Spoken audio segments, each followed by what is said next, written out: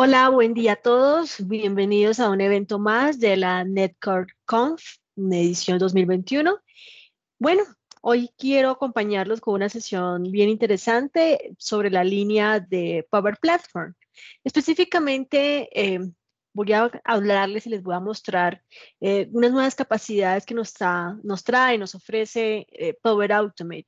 Específicamente, eh, cierra la sesión en cómo a partir de la robotización de procesos automatizados podemos encontrar soluciones como Process Advisor. Process Advisor es una nueva funcionalidad, está disponible como versión preliminar desde diciembre del 2020. Mi nombre es Mayra Vadillo, yo soy MVP en Business Applications. Em, tengo ya más de 10 años conociendo Microsoft 365, pero antes de continuar con mi presentación y, ya abordar eh, la sesión, es importante poder resaltar el apoyo de los sponsors. Sin ellos, este evento no sería posible, así que es bueno hacer una, una mención a cada uno de ellos y sobre todo a todos los speakers maravillosos que nos están acompañando en una agenda bien enriquecida, eh, donde seguramente cada uno de los participantes se va a poder llevar información bien valiosa y, y de muchísima aplicabilidad hacia lo que estén desarrollando hoy por hoy en sus negocios a nivel organizacional o si son consultores o eh, freelance.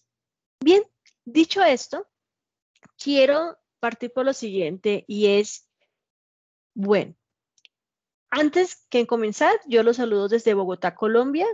Eh, tengo ya más de 10 años trabajando con Microsoft en plataformas de Microsoft 365, 7 años, 11 meses colaborando con subsidiaria de Microsoft Colombia y 2 años y medio con subsidiarias de habla hispana. Yo realmente soy freelance y esa figura me ha permitido trabajar en proyectos directos con cliente final socios de negocios o algunos casos donde Microsoft me asigna los clientes.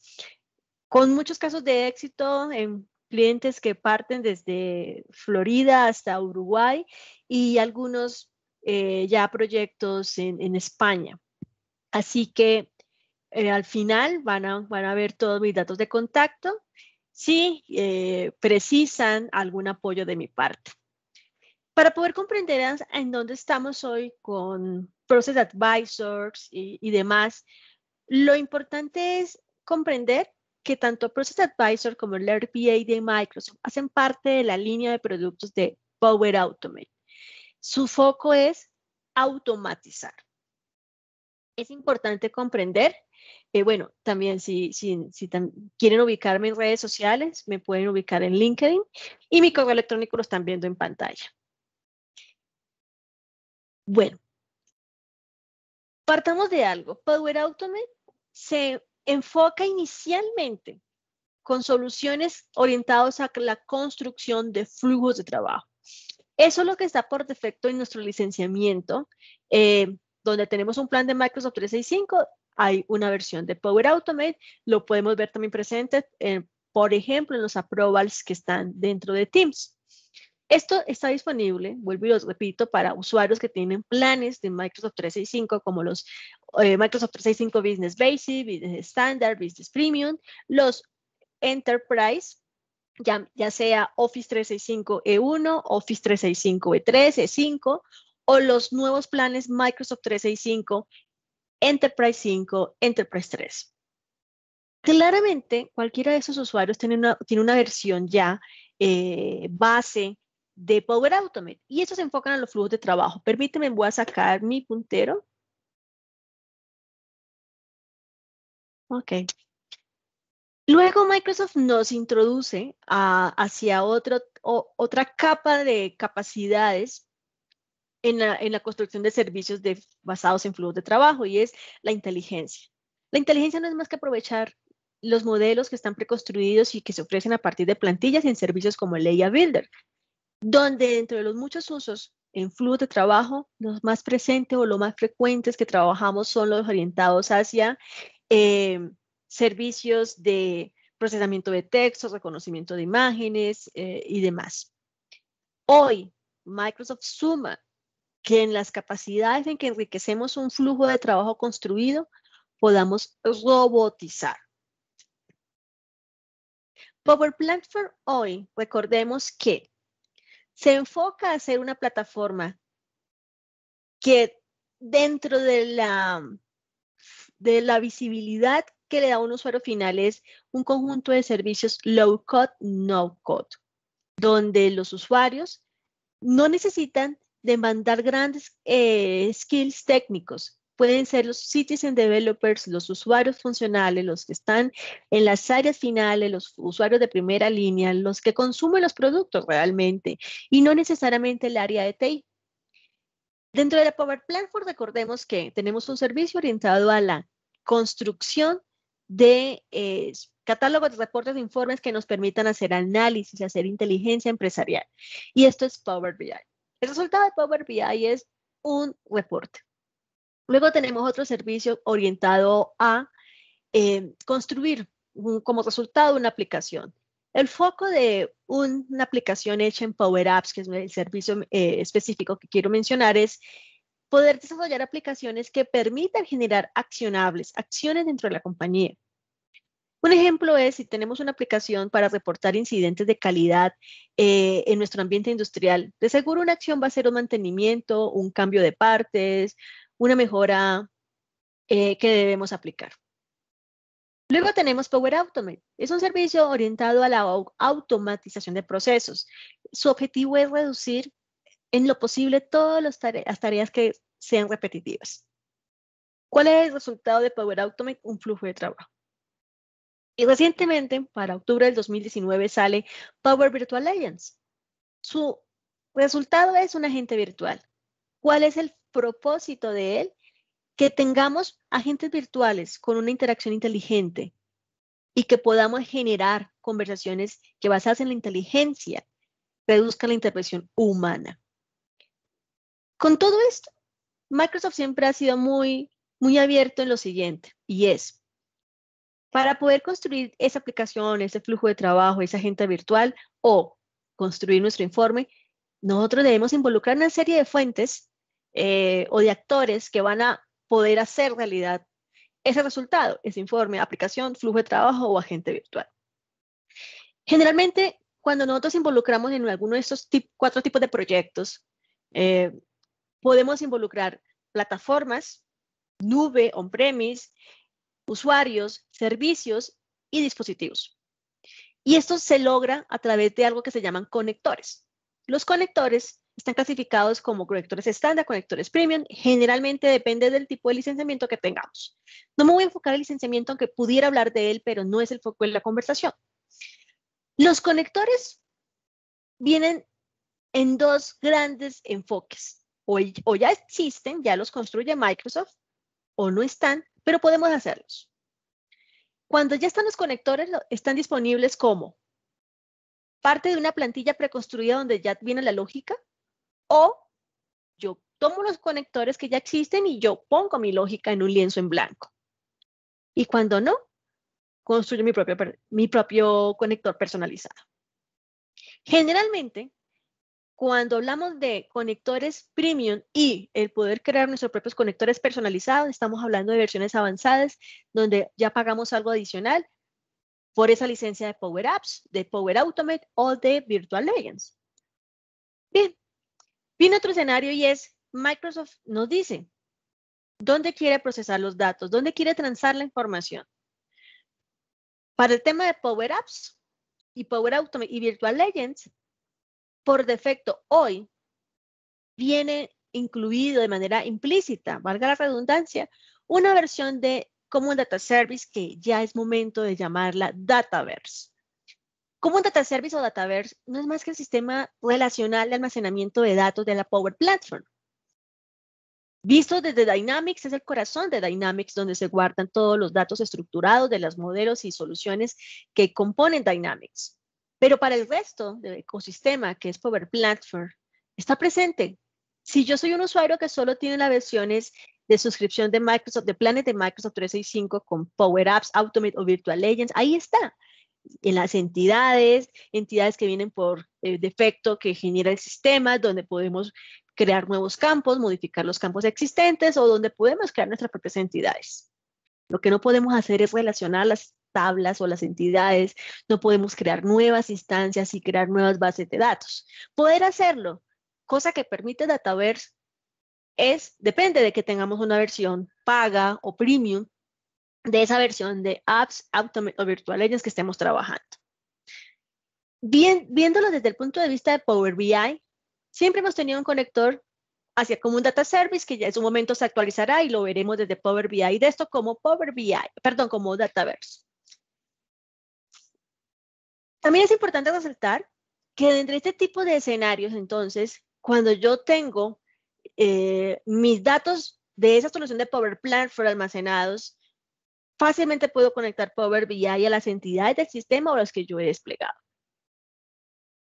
También viene otro escenario bien particular para resaltar y es que cuando yo estoy construyendo una aplicación o un flujo de trabajo, puedo incluir, embeber un componente de inteligencia artificial en un servicio transversal que se llama AI Builder.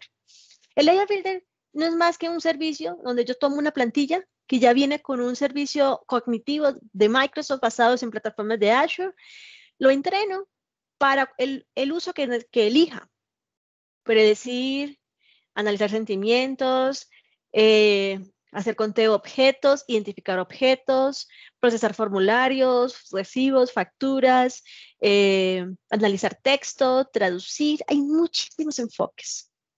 Este AI Builder, cuando yo lo construyo, lo construyo para luego incluirlo dentro de esa aplicación o ese flujo de trabajo. Y claramente, eh, dependiendo de si tengo una versión premium de Virtual Agents, podré seguir enriqueciendo la personalidad y las habilidades de mi agente virtual o bot. Todo esto nos permite mantener un modelo de administración, gobierno y seguridad de los datos. Eso es lo más importante que siempre tenemos que, tener presente. Todo este eh, contexto para llegar a un punto y es, los productos que se venden por independientes son Power Apps, Automate y Virtual Agents cuando hablamos de versiones avanzadas. Cuando no, Virtual Agents hay una versión eh, ya incluida para los clientes que tengan Teams en una suscripción de Microsoft 365. Y como ya lo he dicho, eh, ya está en, los planes una versión de Automate y de Apps. Power BI lo compramos por aparte, salvo que sea un, licenciamiento Enterprise 5. Y dependiendo de la versión Apps, Automate y Virtual Agent, estará también de, dada la cantidad de conectores a los que tengo acceso. Y ya queda súper claro que tenemos una, una, de alguna u otra manera tenemos Dataverse y si queremos comprar para tener bases de datos y construirlas, pues eso lo estará presente cuando tengamos versiones avanzadas de Apps, Automate y Virtual Agent. El AI Builder no se licencia por usuario, se licencia por la capacidad de eh, créditos que usted necesite consumir, que es un crédito, la cantidad de facturas que va a procesar en el mes, la cantidad de imágenes que va a procesar en el mes, todo está dado en mensualidades. Microsoft tiene una calculadora de costos de que estima cuántas unidades usted puede eh, necesitar para su proyecto. Generalmente los precios están alrededor de los 500 dólares mensuales. 500, 300 dólares, depende de lo que usted necesite. Ahora, hay unos servicios que son complementos adicionales que yo puedo comprar según mi proyecto. Generalmente para el, escenario de Power Apps, un producto que pago por aparte son los portales. Pago por eh, una cantidad de sesiones en el día o por visitas. Y dependiendo de si tengo una versión avanzada, puedo trabajar con la construcción de aplicaciones basadas en Model Driver. Por defecto, todo vamos a poder crear aplicaciones Canvas. Cuando yo estoy en versiones de planes de Microsoft 365, los flujos de trabajo que hago son los Microsoft Flows. Pero cuando tengo versiones avanzadas, puedo hacer eh, flujos de trabajo de procesos de negocio. Ahora, cuando yo tengo un, un plan avanzado, tengo derecho a trabajar con la creación de RPAs. RPAs también se vende en función de quiere hacer un flujo, eh, un RPA atendido, es atendido, que lo vamos a ver más adelante. Ahora, Microsoft Power Automate, recordemos que está pensado para cualquier escenario. Lo importante para resumir mi mensaje es el siguiente. Uno, lo que más necesitamos nosotros es determinar cuánto, cuánto demandará nuestro proyecto y de qué recursos vamos a tener que depender. Power Automate tiene la capacidad de solucionar cualquier necesidad, ya sea a partir de los conectores personalizados, porque usted los construya, o cuando el sistema que usted quiere involucrar, articular, no lo permite, vamos a poder tener RPA, poder grabar esas ejecuciones y acciones del usuario y generar un robot. Claramente yo puedo eh, complementar mi proyecto de RPA haciendo eh, inteligencia artificial, involucrando servicios de AI Builder. Me va a permitir cualquier proyecto con Power Automate hacer conectividad hacia los datos, me genera unas oportunidades de hacer extensible cualquier proyecto en el que esté trabajando, sin importar las plataformas, si son legacy, si son on-premise, si son eh, propietarios de otros fabricantes o son servicios estándar, clásicos de nube. Prácticamente está pensado para que podamos automatizar todo lo que necesitemos en ambientes modernos o, o ambientes heredados. Y también podemos compartir los flujos de trabajo como si fueran documentos. ¿Qué podemos lograr entonces con nuestro servicio de Power Automate? Cualquier solución que queramos automatizar se centra en Power Automate.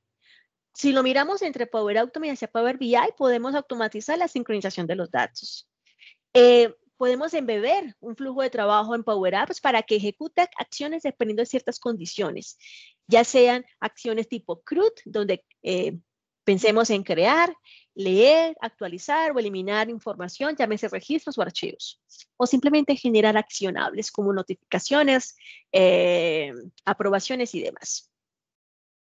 En temas de agentes, virtuales, yo puedo tener una, en una sesión, definir que un nodo llame a una acción que es un flujo de trabajo, como por ejemplo que lo que el usuario está escribiendo en el chat se le envíe directamente como una tarjeta eh, de Teams a un usuario, como un correo electrónico o otro tipo de servicio que queramos interconectar. Yo les decía que Power Automate nos va a permitir hacer grandes eh, trabajos dependiendo de lo que necesitemos. Podemos hacer flujos de trabajo desde cero, podemos hacer flujos de trabajo desde una plantilla o hacer nuestros conectores eh, personalizados. Yo puedo hacer un, flujo de trabajo a partir de una plantilla y esas plantillas van a estar consumiendo conectores estándar o conectores premium. Yo puedo eh, simplemente acceder a un flujo de trabajo y hacer mi propia lógica usando los conectores que ya existen y pueden ser conectores estándar o premium. Pero cuando yo soy un usuario que tiene modelo premium de licenciamiento de Power Automate, puedo también, además de consumir los eh, conectores premium, eh, hacer mis propios conectores personalizados.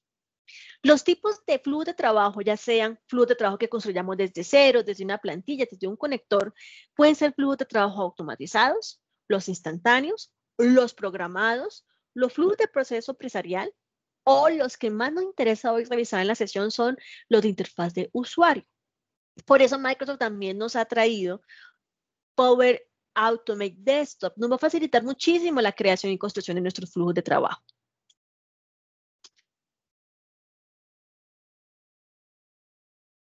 De alguna u otra manera ya Power Automate está presente en todos nuestros servicios y no necesariamente yendo directamente a la consola de Power Automate.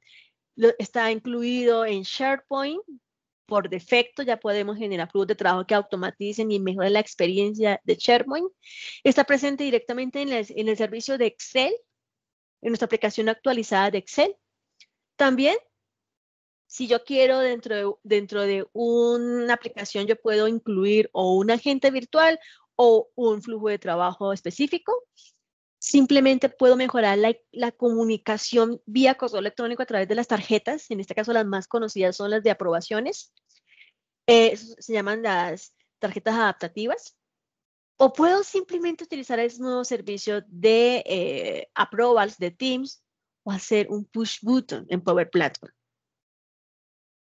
Otra cosa importante entonces para concluir es, yo hoy Power Auto me lo tengo presente, yendo directamente al servicio o estando en otros servicios como OneDrive, como SharePoint, como Teams, como Excel, ahí están también ya de manera implícita en las aplicaciones. Ahora, en temas de inteligencia artificial, ¿por qué estoy mencionando tanto esto? Porque muchas veces nuestros proyectos de RPA, como el, el, el del demo que les traigo, vienen involucrados con alguno de estos modelos. La propuesta de inteligencia artificial de Power Automate en el AI Builder es una plataforma que democratiza la inteligencia artificial, que genera otro ambiente low code, no code, donde Microsoft ya nos tiene las plantillas, yo simplemente entreno, cargo la información, el algoritmo se prepara y ya lo puedo incluir en esa aplicación o en ese flujo de trabajo que estoy construyendo. Tenemos más de 275 conectores hoy y aquí están incluidos los conectores estándar, los conectores premium.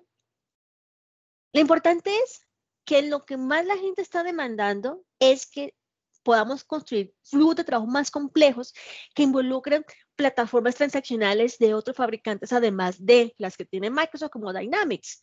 Power Automate se habla muy bien con Salesforce, con SAP, con Postgres también. Ahora ya enfoquémonos a hablar de la automatización dentro del RPA. El ¿cuándo, cuando pensamos en que ya es momento de tocar terreno de RPA? Cuando queremos automatizar aplicaciones que están basadas en API y que no están basadas en API, cuando tenemos un híbrido de ambientes. Casualmente estoy en dos, en dos escenarios en este momento como con unos clientes y dentro de ellos necesitamos pensar en el RPA por tiempos, por desarrollo y por costos. Para una integración hacia su sistema SAP on-premise. Tienen una base de datos en más de Base Plus y realmente pensar en, en poder llevar una información que tenemos en SharePoint, en llevarla hacia SAP, que es unidireccional la comunicación, mientras se construye el, el RESAP y los costos y licenciamiento que esta empresa no tiene por ahora, una alternativa es pensar entonces hacer el RPA, saldría mucho más económico en tiempos y sobre todo en los costos de eh, sostenimiento de dicha integración. Así que muchas veces RPA, puede eh, cerrar ciertas brechas cuando queremos integrar varias plataformas. ¿Cuál es el foco eh, como opera RPA de Microsoft? Primero que todo, está pensado para automatizar aplicaciones con capacidades de automatización robótica de procesos. Esto no es más, si yo lo dijera en una frase eh, sencilla, sería algo así como algo que grabe los movimientos del mouse y esos movimientos del mouse son las acciones de uno que hace un usuario en un conjunto de aplicaciones que tiene instaladas en su computador, ambiente desktop o ambiente web. Ahora, RPA parte de tres grandes etapas de, de funcionamiento. El graba, cuando se registra la tarea, automatiza la tarea y ejecuta la tarea. Esa es la forma como, como opera. Está pensado especialmente para que un usuario lo pueda desarrollar dentro de la interfaz de usuario web o en la aplicación de escritorio. Podemos sumarle capacidades avanzadas, claro está. ¿Cómo funciona Power, eh, el Power Automate de servicio de RPA? Podemos hacer flujos de trabajo de RPAs de modo atendido o desatendido. Y estos son dos tipos de precios. El atendido es cuando hay una interacción constante del usuario, donde hay una sesión eh, abierta por dicho usuario, obviamente está iniciado por el ser humano. El desatendido está pensado para grandes volúmenes de trabajos en backend, se ejecuta automáticamente y puede iniciar sesión en el sistema o la máquina y no necesita depender de que el usuario inicie el servicio. Generalmente, eh, vuelvo y les digo, cuando ustedes quieren ubicar RPA en Power Automate, no lo ven como RPA, lo ven como flujo de trabajo e interfaz de usuario. Generalmente, estamos viendo unos screenshots que vamos a verlo en la demo. Eh, vuelvo y les digo, esto es un asistente, un siguiente, siguiente, siguiente, muy fácil y muy intuitivo para un usuario donde va a grabar las acciones, va a poder editar los pasos. Los pasos pueden ser editables para sumarle algunas capacidades más complejas, más avanzadas en lo que tiene que hacer. Uno de los casos de uso más frecuentes son el proceso de facturación. En el modelo que les voy a mostrar, vamos a ver eh, que un flujo de trabajo llega, perdón, un mail llega y ese mail contiene una factura. Ese va a ser el desencadenador del flujo de trabajo. Necesitamos es que algo haga por un usuario, por un humano, haga un trabajo que es repetitivo, desgastante y voluminoso, de seguro. Y es, abre el adjunto, revise las facturas y esas facturas pueda almacenar los datos que habitualmente la gente lo hace copiando, copiando o digitando en un Excel. Eso lo puedo automatizar con inteligencia artificial usando el servicio de Leia Builder. Vamos a usar el reconocimiento de facturas. ¿Qué es lo que vamos a entender, hacer? Lograr que entienda el modelo, el algoritmo, entienda el contenido de ese PDF de ese adjunto. Puede ser PDF, puede ser imagen, lo que sea, pero es un adjunto. Y que pueda identificar, ubicar eh, ciertos campos, como la fecha, el importe de la factura, el dato de quién nos está cobrando, y poder guardar esa información. ¿En dónde la vamos a guardar? En unas entidades. ¿Hay que crear las entidades? No. Vamos a utilizar entidades que vienen por defecto en cada modelo de inteligencia artificial. Es por esto que van a poder quizás darle más sentido al hecho de que Microsoft tiene en un, un, apartado en Power Automate, además de Power Apps, algo que se llama soluciones. Y en soluciones donde podemos trabajar este tipo de escenarios, en este caso el de AI Builder. Tenemos una condición bien particular para este caso de uso y es que cuando la factura tenga un monto que supere los dos mil dólares, también sume que un agente virtual le notifique a una persona específica que ha llegado un monto, una, una factura de alta cuantía o alto monto si la quiere aprobar o si la quiere rechazar. Si la rechaza, le devuelve a la persona que envió el correo, el remitente, que su factura fue rechazada. Y si la aprueba, pasa al sistema de facturación. Ahí tenemos entonces un escenario de un agente virtual con bots.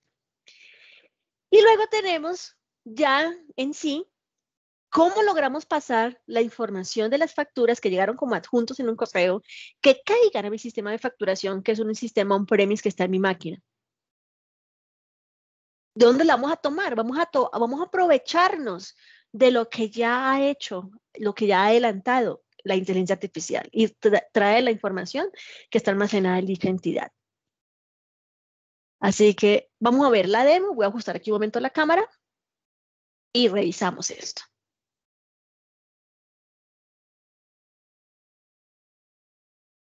Me quito mi puntero.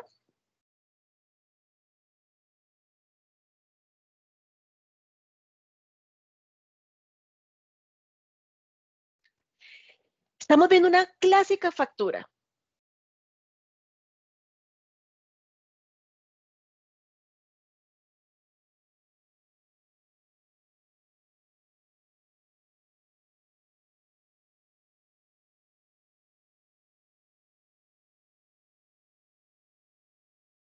Esta es una clásica factura que lo que hace es traerme una cierta información y esta información me la va, queremos pues que el flujo de trabajo llegue, lo pueda tomar y vamos a hacer el flujo de trabajo desencadenador. Aquí estamos viendo entonces que vamos a requerir que se cargue cierta información que esta información la guarde con unas condicionales. ¿Cuáles son las condicionales? Que siempre vaya para un específico destinatario que contenga un adjunto. Y le vamos a decir que para todos los attachments, todos los adjuntos, aplique un modelo de inteligencia artificial que ya previamente se ha construido. Esta parte, pues, uno la puede hacer aquí mismo o primero hace el modelo, lo guarda y luego aquí lo llama. Aquí les voy a mostrar el modelo de inteligencia artificial.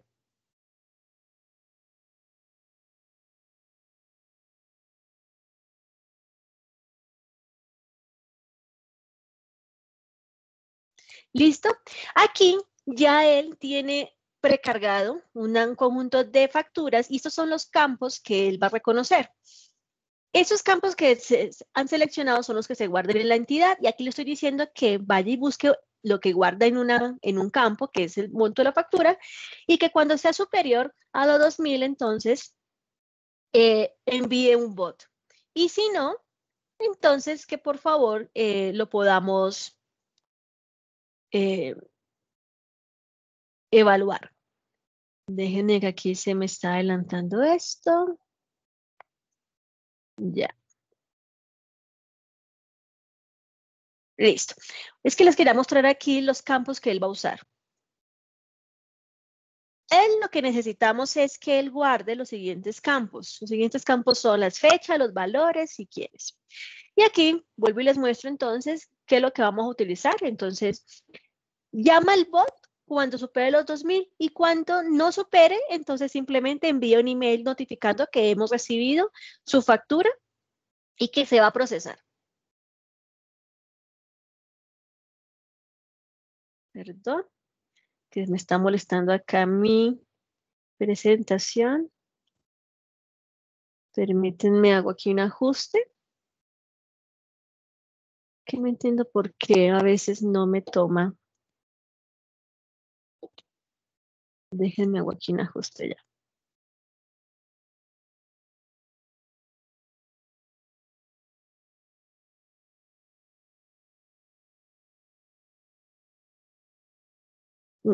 Es que algunas veces veo que cuando estoy grabando, eh, estoy presentando, eh, mi barra no me la toma. Bueno, vamos a ver cómo nos va acá.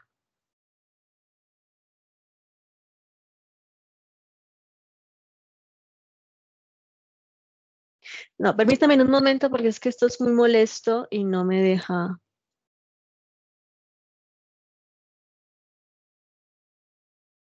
Permítanme un momento, discúlpenme, pero es que no, no me deja manipular mi máquina así.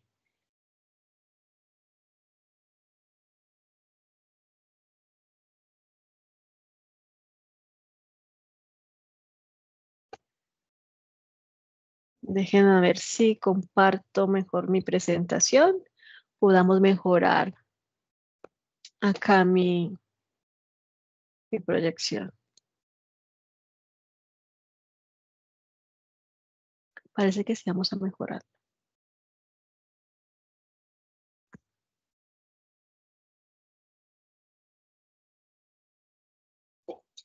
Listo. Creo que estamos mejor. Aquí.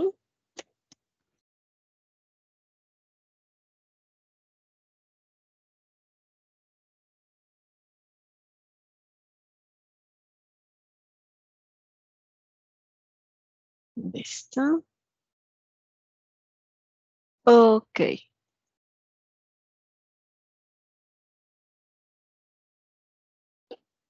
Bueno, espero que esté. Déjeme aquí ajustar otra cosa que me está entorpeciendo la proyección.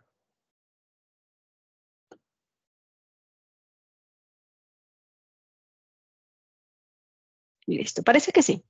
Bueno, y vamos por favor acá bien.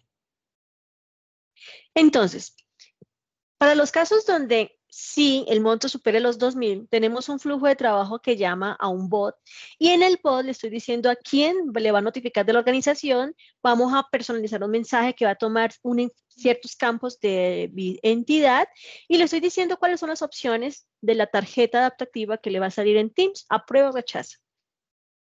Claramente cuando el rechace va a mandar también, si falso, un correo electrónico y si cierto, pues también pasa a los procesos de facturas aprobadas que se van a provisionar y se van a facturar claramente. Aquí estamos determinando si la aprobación es igual a aprobado, entonces va a ejecutar una condición si cierto y si falso, entonces le va a decir al remitente que pues no, que la organización rechazó su factura. Eh, sobre esto, entonces, lo siguiente que deberíamos pensar es entonces en las condiciones de si cierto. En todo lo que sea cierto, entonces son las facturas que vamos a procesar y que vamos a ir alimentando hacia mi servicio de eh, RPA y aquí donde ya lo vamos a grabar. Eh, aquí lo podemos hacer con nuestra versión online o con la versión de escritorio, ustedes eligen. Aquí lo importante es que lo que estamos haciendo es ya asociar los campos. Son los mismos campos que se seleccionaron para el modelo de inteligencia artificial inicialmente. Aquí prácticamente vamos a relacionar todos los campos y vamos a cargar unos datos de ejemplo para irlo entrenando. Lo siguiente que debemos hacer es poder hacer la grabación de los movimientos del mouse. Y estos pasos luego lo vamos a ver reflejado en el canvas de diseño de Power Automate y lo vamos a poder personalizar si así lo requerimos. Listo. Entonces, aquí estamos cargando cierto tipo de montos, vamos a manejar cierto tipo de información y lo siguiente que vamos a hacer es grabar los pasos, hacer la grabación. Para ello tenemos que haber previamente instalado algunos complementos en su navegador, además de tener Power BI Desktop. Aquí tengo una aplicación de escritorio. Generalmente en las empresas tienen sistemas de facturación on-premise o terminal remota o sesión web. Aquí la grabación parte desde que el, usuario tiene que decirle una nueva factura. Aquí está asociando los campos que son los inputs que trae desde los campos de las entidades asociadas en el Layer Builder. Y lo que estoy diciendo es que lo voy a asociar. Es un juego de asociación y el usuario cambia un estatus. Después de que asocia todos los campos en los inputs, va a decir que debe ser procesada la factura y guardar dicho registro. Estas son las acciones que hace un usuario por cada factura. En este caso lo que estamos haciendo es que dicha factura lleve los campos que toma de las eh, almacenadas en la entidad, que fue lo que se colecta el, modelo de inteligencia artificial. Aquí vemos todos los clics, todos los movimientos, todos los ingresos de datos a, cuadros de diálogo, cómo lo detecta la plataforma y van a ver que aquí es como si fuera un screenshot lo que él está eh, almacenando. Lo siguiente es hacer una prueba con unos datos que ingresemos y ya podemos tener nuestro RPA ah, entrenado, probado y luego incluido en esa condición de nuestro flujo de trabajo eh, grande, como donde el trigger es un correo electrónico. Y aquí ya se está ejecutando el RPA sin la intervención humana. Hace un nuevo registro, y fíjese cómo él ya va cargando la información según lo que va encontrando en el repositorio de Leia Builder. Cambia el estado a facturado y luego procede a guardar y a cerrar la aplicación. Lo siguiente que podemos ver entonces es que ya eh, ha sido probado, lo guardamos y lo vamos asociando acá a toda mi personalización de campos dinámicos, de contenido dinámicos, como cualquier otro flujo de trabajo que, ustedes ya están familiarizados con la plataforma, es simplemente asociar la información que necesito. Permíteme que se me movió otra vez acá. Está algo molesto esto con Teams. Muy bien, entonces aquí asociamos los campos, eh, asociamos quién es el contacto, quién, es, quién va a ser el, monto, quién es el proveedor, todos los detalles. Y pueden aquí inclusive revisar todos los otros campos que incluye la entidad, pero solamente vamos a trabajar con cinco. Lo siguiente que vamos a hacer es probarlo. Probar nuestro, nuestro completo flujo de trabajo desde que llega un correo electrónico. Y obviamente ese, es uno que va a involucrar una factura de mayor monto que supera los $2,000 mil dólares para poder probar el bot. Aquí tenemos un correo electrónico donde le van a enviar al usuario una factura para revisar y aprobar. Esta factura supera los $4,000 mil dólares.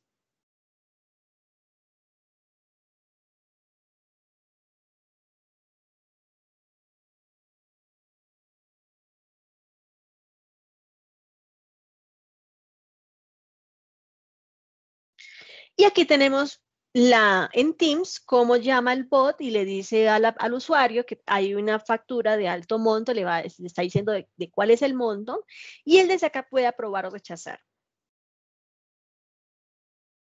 Desde aquí, entonces, si él lo aprueba, entonces ya continúa el siguiente proceso.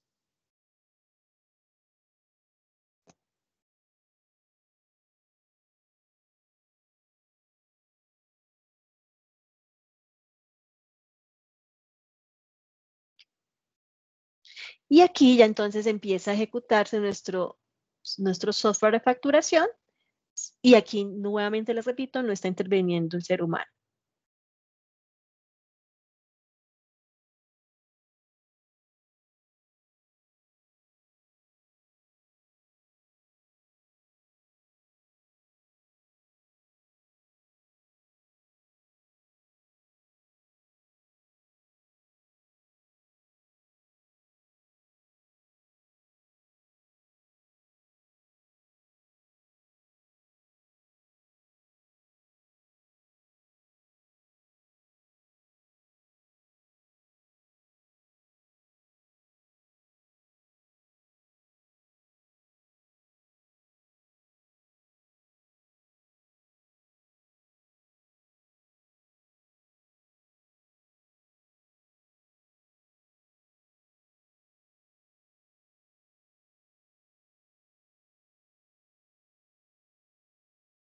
¿Listo?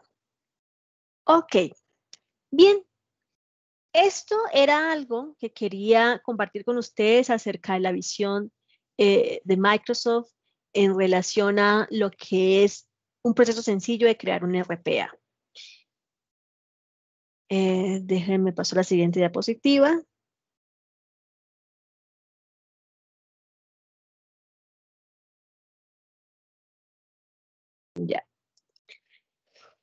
Dice lo siguiente.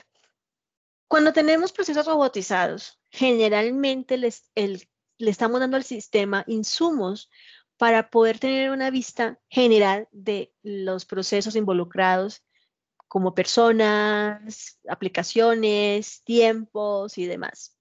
Microsoft suma entonces Process Advisor. Process Advisor viene como parte de los beneficios de alguien que tenga la licencia de RPA y no es más que un servicio que le va a permitir mejorar los procesos, entendiéndolos mejor a partir de la minería de datos de la plataforma de Microsoft. ¿Qué es lo que va a hacer la plataforma de minería de datos? Detectar cuellos de botella en los flujos de trabajo y decirme dónde más podemos eh, automatizar. Nos saca estadísticas, ve oportunidades de mejora hace seguimiento sobre métricas que él detecte y nos puede identificar cómo podemos hacer más eficientes ciertos trabajos o procedimientos. ¿Cómo lo logra? Porque nos arroja un diagrama que, que nos eh, ilustre mejor el proceso identificando los procesos diarios, permitiendo entender los paso a pasos del proceso, identificar los tiempos que están consumiendo entre, entre un paso y otro, y obviamente tener una visualización más integral.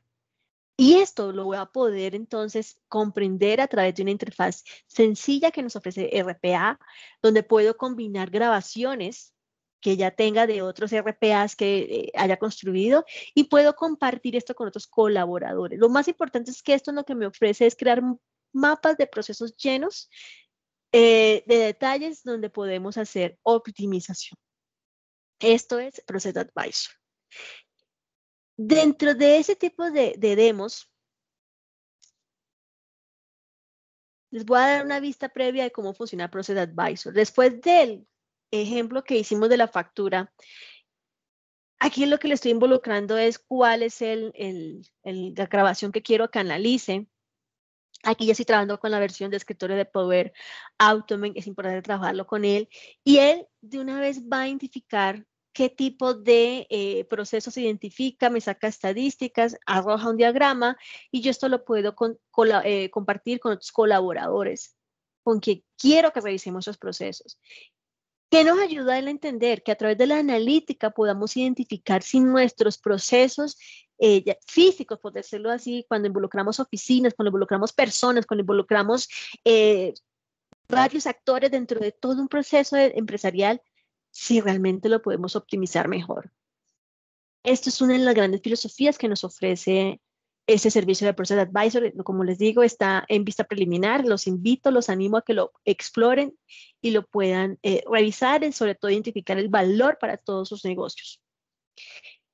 Yo no tenía eh, pensado para esa sesión, cuando, la, cuando yo postulé la sesión, eh, déjenme que es que como tengo esto por defecto, el de una vez no me saca la siguiente diapositiva. Ya.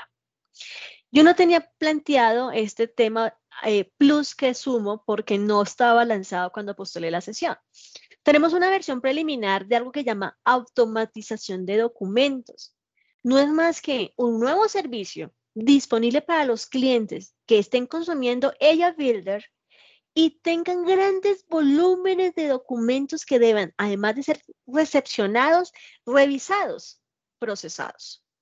Esto generalmente llama la atención en, empresas de ingeniería, en oil and gas, petroleras, constructoras.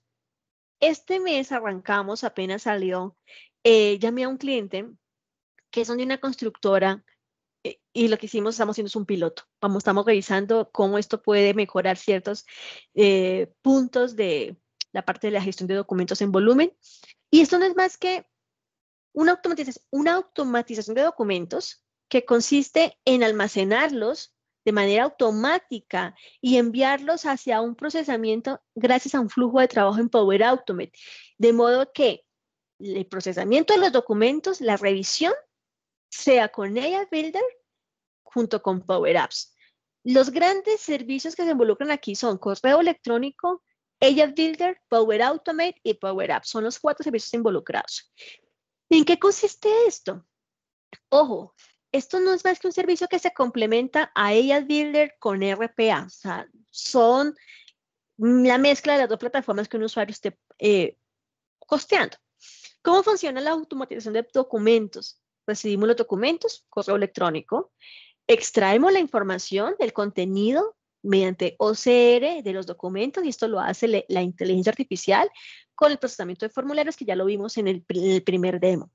Luego hacemos una validación. Si es necesario, un, un, humano puede confirmar o corregir los datos extraídos y si no, le damos la responsabilidad a un sistema de inteligencia artificial también, con otro modelo que haga interpretación y, validación del texto. Luego hacemos una exportación de los datos y lo podemos exportar a un ERP u otro sistema de almacenamiento que elijamos. Y hacemos una supervisión del proceso, ya sea a través de herramientas o a través de personas. ¿Cómo puedo yo pensar este servicio? Lo puedo pensar para procesar documentos de lo que yo requiera. Documentos como contratos, como documentos jurídicos y no solamente los tradicionales que son las facturas y los recibos. Esto es algo más que ustedes pueden definir la personalización del documento que quiere procesar en alto volumen. Claramente poder ejecutar ese servicio requiere una, instalación, hay un complemento que se debe instalar. Eh, el Customer eh, Document Solution se instala, eso ya está en versión de prueba, también lo probé. Hacemos una instalación, y luego hacemos una customización de la solución. Por eso les decía también al inicio que fuertemente estamos viendo cómo gana terreno este, este, este complemento de soluciones que algunos no, entendíamos qué era, algunos pensábamos, algunos pensaban que era solamente para los clientes que tenían Dynamics, que por ahí podían ver todos los módulos y soluciones de las aplicaciones. Y no, también aquí estamos viendo todas las soluciones preconstruidas que Microsoft nos está ofreciendo. Lo podemos ver en Dataverse for Teams, en, por ejemplo, Return to the Workplace que salió para Power Platform y, y también para todos los modelos de inteligencia artificial como el que les mostré de procesamiento de facturas. Y hay otros casos que uno pudiera pensar. Luego, esa es una idea de un flujo de trabajo, simplemente estamos llamando nuestro servicio de base de datos en Dataverse, asociamos el servicio de correo electrónico, condicionamos eh, que el trigger sea a partir de un correo electrónico que recibamos, que tenga un adjunto, vamos extrayendo la información y la vamos almacenando, la vamos listando para saber qué es lo que tenemos allí. Esto si lo quieren ver gráficamente en su mente, esto es lo que reemplaza a la acción humana de las personas que tenemos en una, en una oficina de, archivo, que revisan los documentos en físico, que los escanean, que guardan la información en una, en una hoja maestra de Excel, donde sacan un inventario de la correspondencia que han recibido en el día. ¿Cuánto tiempo le toma eso a la gente? Entonces, esto lo está haciendo en la plataforma de automatización de documentos nueva de Microsoft. Luego, fíjense cómo lo que él trae, lo extrae y lo almacena de forma estructurada. Aquí tenemos un, todo un conjunto de datos que luego se pueden validar simplemente y luego hacer los siguientes procesos como un pago o con todos los accionales que diga el proceso. Así que muchas gracias por haberme acompañado. Si tienen preguntas, yo creo que ya es momento entonces de que nuevamente les muestre mis contactos, me pueden contactar por, LinkedIn o por correo electrónico. Nuevamente agradecemos a todos ustedes por unirse a la sesión, eh, a los sponsors nuevamente eh, agradecer también su apoyo y gracias. Nos vemos en una siguiente oportunidad. Sigan con toda la agenda que tiene la NetCoreConf para ustedes. Sigan disfrutándola. Ya saben, me pueden ubicar en redes sociales. Soy Mayra Odillo Villamizar. MVP en Business Applications, freelance y estoy muy atenta de poder apoyar en lo que precisen en Power Platform a Microsoft 365. Saludos